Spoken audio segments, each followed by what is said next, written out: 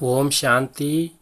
பதினெட்டு மார்ச் இரண்டாயிரத்தி இருபது இன்றைக்கான காலை முரளியில் சிவ தந்தை கூறுவது என்னவென்றால் இனிமையான குழந்தைகளே இந்த எல்லையற்ற நாடகத்தை சதா நினைவில் வைப்பீர்களானால் அளவற்ற மகிழ்ச்சி இருக்கும். இந்த நாடகத்தில் யார் நல்ல முயற்சியாளர்களாக மற்றும் இணையற்ற ஈடுபாட்டுடன் இருக்கிறார்களோ அவர்களுக்குத்தான் பூஜையும் அதிகம் நடைபெறுகின்றது. எந்த ஒரு நினைவு உலகத்தின் அனைத்து துக்கங்களிலிருந்தும் விடுவிக்கின்றது? மகிழ்ச்சியாக இருப்பதற்கான வழி என்ன? அதற்கான வழியை தந்தை கூறுகின்றார். இப்போது நாம் வருங்கால புது உலகத்திற்கு சென்று கொண்டிருக்கின்றோம் என்பது சதா உங்களுக்கு நினைவு இருக்க வேண்டும். வருங்காலத்தின் மகிழ்ச்சியில் இருப்பீர்களானால் துக்கங்கள் மறந்துவிடும். அதாவது பாவங்களின் உலகத்திலிருந்து விக்னங்களோ வரும். ஆனால் இவ்வுலகில் நாம் இன்னும் கொஞ்ச நாள்தான் இருக்கப் போகின்றோம். என்பது உங்களுடைய நினைவில் இருந்தால் உங்களுக்கு மகிழ்ச்சியாக இருப்பீர்கள். பாடல் கூட எழுதப்பட்டிருக்கின்றது. எழுந்திருங்கள் மணமகள்களே எழுந்திருங்கள். இந்த பாடல் கூட எழுதியிருக்கின்றார்கள் இதுபோல. ஓம் சாந்தி. இந்த பாடல் மிகவும் நன்றாக இருக்கின்றது. பாடலை கேட்டதுமே மேலிருந்து தொடங்கி எண்பத்தி நான்கு பிறவிகளின் ரகசியம் நம்முடைய மனதில் வந்துவிடுகின்றது. இது கூட குழந்தைகளுக்கு புரிய வைக்கப்பட்டிருக்கின்றது. எப்போது நீங்கள் மேலிருந்து வருகின்றீர்களோ அப்போது சூட்சம வதனத்தின் வழியாக வருவதில்லை. இப்போது சூட்சம வதனத்தின் வழியாக செல்ல வேண்டியிருக்கின்றது. சூட்சம வதனத்தை பாபா இப்போதுதான் காட்டுகின்றார். சக்தியுக திரேதா யுகத்தில் இந்த ஞானத்தின் விஷயம் எதுவும் இருப்பதில்லை. சித்திரங்கள் முதலினியவ கூட இருக்காது அங்கே. பக்தி மார்க்கத்திலோ எண்ணற்ற சித்திரங்கள் இருக்கின்றன. தேவிகள் முதலியோரின் பூஜைகளும் அதிகம் நடைபெறுகின்றது. துர்கா தேவி காளியம்மன் சரஸ்வதி இப்படி எண்ணற்ற தெய்வங்களுக்கெல்லாம் ஒருவர்தான். ஆனால் பெயர்கள் எத்தனை வைத்திருக்கின்றார்கள்? யார் நல்ல புருஷார்த்தம் செய்திருப்பார்களோ? ஒப்பற்றவர்களாக இருக்கிறார்களோ? அவர்களுக்குத்தான் பூஜையும் அதிகம் நடைபெறுகின்றது. நீங்கள் அறிவீர்கள் நாம் தான் பூஜைக்குரிய நிலையிலிருந்து இப்படி பூசாரியாகி பாபாவின் மற்றும் தன்னுடைய பூஜையை செய்கின்றோம்.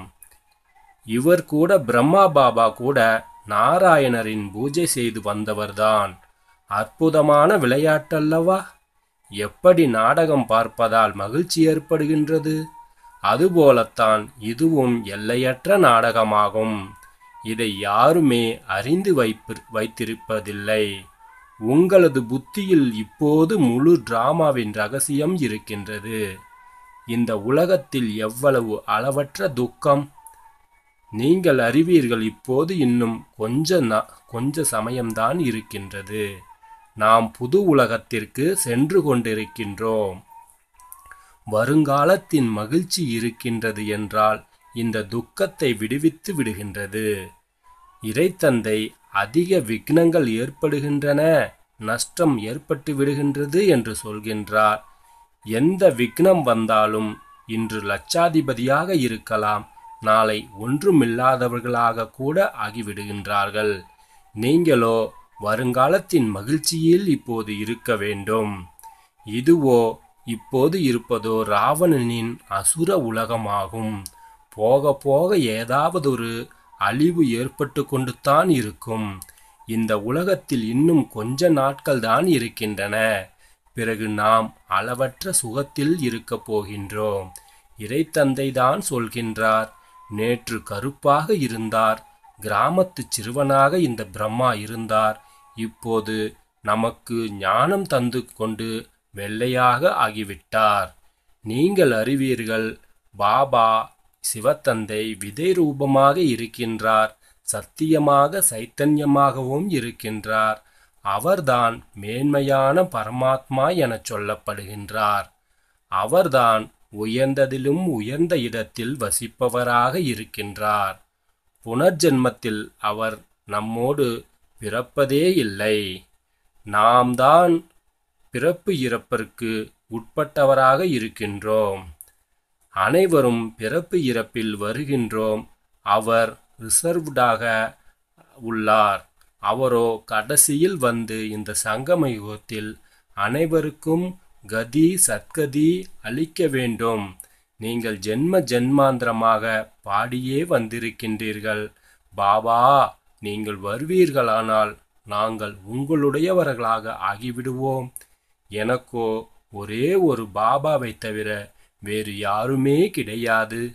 நாங்கள் பாபாவுடன் கூடத்தான் செல்வோம். இது துக்கத்தின் உலகம்.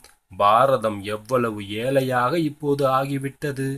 இறைத்தந்தை சொல்கின்றார் நான் பாரதத்தை தான் பானக்கார நாடாக ஆக்குவதற்காக வந்திருக்கின்றேன்.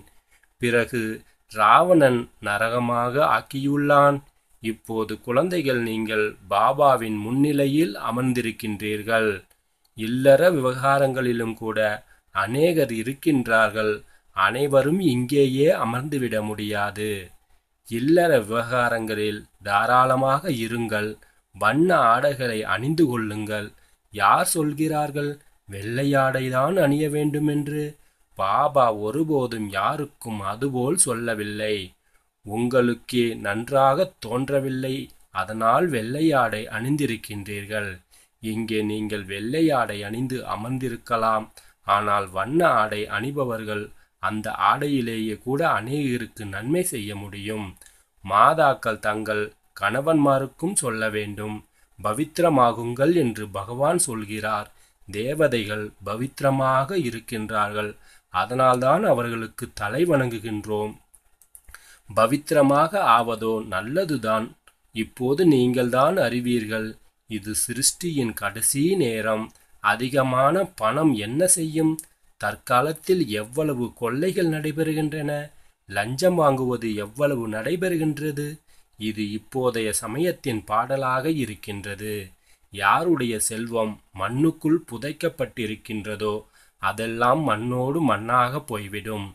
யார் தனது செல்வத்தை இந்த நேரம் பராம் பரமாத்ம காரியங்களில் செலவழிக்கிறார்களோ அவர்களது செல்வம் அநேக பிறவிகளில் பயனுள்ளதாக இருக்கும். அந்த செல்வந்தரோ இப்போது முன்னிலையில் இருக்கின்றார். புத்திசாலி குழந்தைகள் தங்களிடம் உள்ள அனைத்தையும் அந்த செல்வந்தராகிய பரமாத்மாவின் பெயரில் பயனுள்ளதாக ஆக்குவார்கள். மனிதர்களோ அனைவரும் பதீதமானவர்கள். பதீதமானவர்களுக்கு தானம் செய்கின்றார்கள். இங்கோ புண்ணிய ஆத்மாக்களின் தானத்தை பெற்றுக்கொள்ள வேண்டும். பிராமணர்களை தவிர வேறு யாரோடும் தொடர்பு கிடையாது. நீங்கள் புண்ணிய ஆத்மாக்கள் நீங்கள் புண்ணியத்தின் காரியத்தை தான் செய்கின்றீர்கள். இந்த கட்டல் இந்த கட்டடங்கள் உருவாகுகின்றன. அவற்றிலும் நீங்கள்தான் தங்குகிறீர்கள். பாவத்தின் விஷயம் எதுவும் கிடையாது. எவ்வளவு பணம் உள்ளதோ அதை பாரதத்தை சொர்க்கமாக்குவதற்காக செலவு செய்து கொண்டே இருக்கிறார்கள். தன்னுடைய வயிற்றுக்கு கூட ஈரத்துணியை கட்டிக்கொண்டு சொல்கின்றார்கள் பாபா என்னுடைய ஒரு செங்கலையாவது இதில் வைத்தால் அங்கே எனக்கு மாளிகை கிடைத்துவிடும். எவ்வளவு புத்திசாலி குழந்தைகள். கற்களுக்கு பதிலாக தங்கம் கிடைக்கின்றது. சமயமும் இன்னும் கொஞ்சம்தான் இருக்கின்றது. நீங்கள் எவ்வளவு சேவை செய்கிறீர்களோ கண்காட்சி மேலாக்கள் அதிகரித்து கொண்டே போகின்றன. பெண் குழந்தைகள் தீவிரமாக ஆக வேண்டும். எல்லையற்ற தந்தையுள்ளவர்களாக ஆவதில்லை மோகத்தை விடுவதில்லை என்றால் பாபா சொல்கின்றார் நான் உங்களை சொர்க்கத்திற்கு அனுப்பி வைத்தேன். இப்போது மீண்டும் உங்களை சொர்க்கத்திற்காக தயார் செய்து கொண்டிருக்கின்றேன். ஸ்ரீமத் படி உயர்ந்த ப உயர்ந்த நடத்தைகள் படி நடப்பார்களானால் உயர்ந்த பதவியை பெறுவார்கள். இந்த விஷயங்களை வேறு யாருமே உங்களுக்கு புரிய வைக்க முடியாது என்று தந்தை கூறுகின்றார். முழு சிருஷ்டி சக்கரமும் உங்கள் புத்தியில் இருக்கின்றது. மூலவதனம் சூட்சமவதனம் மற்றும் ஸ்தூலவதனம் இவற்றை பாபா சொல்கின்றார். குழந்தைகளே சுயதரிசன சக்கரதாரியாக ஆகுங்கள். மற்றவர்களுக்கும் இந்த ஞானத்தை புரிய வைத்து கொண்டே இருங்கள். இந்த தொழில் பாருங்கள் எப்படி இருக்கின்றது? தானும் தலைவனாக சொர்க்கத்தின் மாலிக்காக ஆக வேண்டும். மற்றவர்களையும் ஆக்க வேண்டும். புத்தியில் இதுதான் இருக்க வேண்டும். யாருக்கு எப்படி வழி சொல்வது? டிராமாவின் அனுசாரம் எது நடந்து முடிந்ததோ அது டிராமா வினாடிக்கு வினா வினாடி என்ன நடைபெறுகின்றதோ அதை நாம் சாட்சியாக இருந்து பார்க்கின்றோம். குழந்தைகளுக்கு பாபா திவ்ய திருஷ்டி மூலம் சாட்சாத்காரம் செய்விக்கின்றார். இன்னும் போக போக நீங்கள் அதிக சாட்சாத்காரங்கள் பார்ப்பீர்கள். மனிதர்கள் துக்கத்தில் கூக்குரலிட்டு கொண்டே இருப்பார்கள். நீங்கள் குசியில் கை தட்டி கொண்டே இருப்பீர்கள். நாம் மனிதரிலிருந்து தேவதையாக ஆகின்றோம் என்றால் அவசியம் புதிய உலகம் வேண்டும். அதற்காக இந்த வினாசம் நின்று கொண்டிருக்கின்றது. இதுவோ நல்லதுதான் இல்லையா? மனிதர்கள் நினைக்கின்றார்கள் தங்களுக்குள் அடித்து கொள்ளக்கூடாது. அமைதி நிலவ வேண்டும் என்று நினைக்கிறார்கள். ஆனாலும் இதுவோ டிராமாவில் விதிக்கப்பட்டுள்ளது. இரண்டு குரங்குகள் தங்களுக்குள் அடித்து கொண்டன என்றால் வெண்ணெய் இடையில் மூன்றாவதும் அவருக்கு கிடைத்து ஆக இப்போது பாபா சொல்கின்றார் தந்தையாகிய என்னை நினைவு செய்யுங்கள் அனைவருக்கும் வழி சொல்லுங்கள் இருப்பது சாதாரணமாக உண்பதும் சாதாரணமாக இருக்க வேண்டும். அப்போது உபசாரமும் செய்யப்படுகின்றது. எந்த பண்டாராவிலிருந்து சாப்பிடுகிறீர்களோ அவர்கள் சொல்கின்றனர் பாபா இவை அனைத்தும் உங்களுடையவை என்று பாபா சொல்கின்றார். ட்ரஸ்டியாக இருந்து பரிபாலனை செய்யுங்கள். பாபா அனைத்துமே தாங்கள் தந்தவை பக்தி மார்க்கத்தில் ஒரு பேச்சுக்காக மட்டும் சொல்லிவிடுகின்றார்கள். இப்போது நான் உங்களுக்கு சொல்கின்றேன் டிரஸ்டியாகுங்கள். இப்போதுதான் நான் முன்னிலையில் இருக்கின்றேன். நானும் டிரஸ்டியாகி பிறகு உங்களை டிரஸ்டியாக்குகின்றேன். இதை செய்தாலும் கேட்டுக்கொண்டே செய்யுங்கள். பாபா ஒவ்வொரு விஷயத்திலும் அறிவுரை தந்து கொண்டே இருக்கின்றார். பாபா கட்டடம் கட்டலாமா? இதை செய்யலாமா என கேட்டால் செய்யுங்கள் என சொல்வார். மற்றபடி பாவாத்மாக்களுக்கு கொடுக்கக்கூடாது பெண் குழந்தை ஞானத்தில் இல்லை என்றால் திருமணம் செய்து கொள்ள விரும்புகிறாள் என்றால் என்ன செய்ய முடியும்? பாபாவோ புரிய வைக்கின்றார். நீங்கள் ஏன் அபவித்திரமாகின்றீர்கள்? ஆனால் யாருடைய அதிர்ஷ்டத்தில் இல்லாவது இல்லை என்றால் பதீதமாகி விடுகின்றனர். அநேக விதமான கேஸ்களும் வழக்குகளும் நடைபெற்று கொண்டுதான் இருக்கின்றன. பவித்திரமாக இருந்தாலும் மாயாவின் அடி விழுந்து விடுகின்றது. கெட்டு போகின்றார்கள். மாயா மிகவும் சக்தி வாய்ந்தது. அவர்களும் காமவசப்பட்டு விடுகின்றார்கள். பிறகு இது மாயாவின் விதி என சொல்லப்படுகின்றது. இந்த நிமிடம் வரை என்னென்ன நடந்ததோ கல்பத்திற்கு முன்பும் இதுதான் நடந்துள்ளது. எதுவும் புதிதல்ல. நல்ல காரியம் செய்வதில் விக்னத்தை ஏற்படுத்துகின்றனர். புது விஷயமல்ல. நாமோ உடல் மனம் செல்வத்தால் பாரதத்தை அவசியம் சொர்க்கமாக ஆக்க வேண்டும். அனைத்தையும் இறைத்தந்தை மீது அர்ப்பணம் செய்வோம். குழந்தைகளாகிய நீங்கள்தான் அறிவீர்கள். நாம் ஸ்ரீமத் படி உயர்ந்த வழியில் இந்த பாரதத்திற்கு ஆன்மீக சேவை செய்து கொண்டிருக்கின்றோம். உங்களது புத்தியில்தான் இது இருக்கின்றது. நம்முடைய ராஜ்யத்தை மீண்டும் நாம் இப்போது ஸ்தாபனை செய்து கொண்டிருக்கின்றோம். என்று இறைத்தந்தை கூறுகின்றார். இந்த ஆன்மீக மருத்துவமனை மற்றும் பல்கலைக்கழகத்தை மூன்றடி நிலத்தில் திறந்து வையுங்கள். இதன் மூலம் மனிதர்கள் சதா ஆரோக்கியமானவர்களாக செல்வந்தர்களாக ஆக வேண்டும். மூன்றடி நிலம் கூட யாரும் தருவதில்லை. பி கே மாயமந்திரம் செய்வார்கள். சகோதர சகோதரி ஆக்கிவிடுவார்கள் என்று உங்களுக்கு டிராமாவில் மிக நல்ல யுக்தி உருவாக்கப்பட்டுள்ளது. சகோதர சகோதரிகள் தங்களுக்குள் தீய பார்வை வைக்க முடியாது. தற்போதைய உலகிலோ அவ்வளவு அசுத்தம் இருக்கின்றது. கேட்கவே வேண்டாம். ஆக எப்படி பாபாவுக்கு இரக்கம் வந்ததோ அதுபோல் குழந்தைகளாகிய உங்களுக்கும் வரவேண்டும் எப்படி பாபா நரக்கத்தை நரகத்தை சொர்க்கமாக ஆக்கி கொண்டிருக்கின்றாரோ அவ்வாறே இரக்க மனமுள்ள குழந்தைகளாகிய நீங்களும் பாபாவுக்கு உதவியாளராக ஆக வேண்டும். பணம் இருந்தால் மருத்துவமனை மற்றும் பல்கலைக்கழகத்தை திறந்து கொண்டே செல்லுங்கள். இதில் அதிக செலவுகள் எந்த ஒரு விஷயமும் கிடையாது. சித்திரங்களை மட்டும் வையுங்கள். யார் கல்பத்திற்கு முன் ஞானத்தை பெற்றிருப்பார்களோ அவர்களின் புத்தியில் பூட்டு திறந்து கொண்டே போகும். அவர்கள் வந்து கொண்டே இருப்பார்கள்.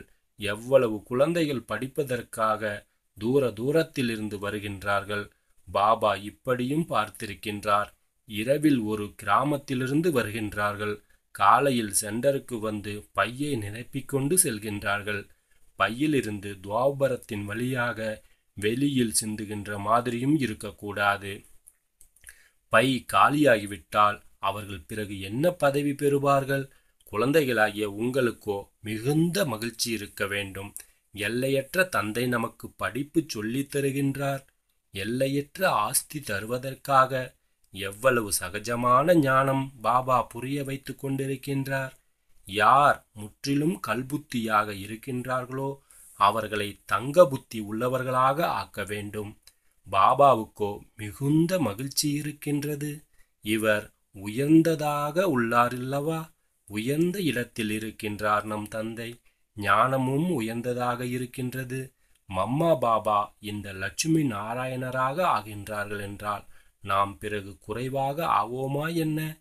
நாமும் சேவை செய்வோம். ஆக இந்த உயர்ந்த நிலை இருக்க வேண்டும். நாம் யோக பலத்தின் மூலம் நம்முடைய ராஜதானியை ஸ்தாபனை செய்து கொண்டிருக்கின்றோம். இப்போது நாம் சொர்க்கத்திற்கு எஜமானராக மாலிக்காக ஆகின்றோம். அங்கே பிறகு இந்த ஞானமே இருக்காது. இந்த ஞானம் இப்போதைய சமைத்து சமயத்திற்கானதாகும். மிகவும் நல்லது என்று பாபா கூறிக்கொள்கின்றார். இனிமையிலும் இனிமையான தேடி கண்டெடுக்கப்பட்ட செல்ல குழந்தைகளுக்கு தாயும் தந்தையுமாகிய பாப்தாதாவின் அன்பு நினைவுகள் மற்றும் காலை வணக்கம். ஆன்மீக குழந்தைகளுக்கு ஆன்மீக தந்தையின் நமஸ்காரங்களை கூறிக்கொள்கின்றார் நாமும் நம்முடைய அன்பு தந்தைக்கு இனிமையான தந்தைக்கு தாயும் தந்தையுமாகிய இருக்கின்ற நமது இறைவனுக்கு பாப்தாதாவிற்கு அன்பு நினைவுகளையும் காலை வணக்கத்தையும் நமஸ்காரத்தையும் கூறிக்கொள்வோம்.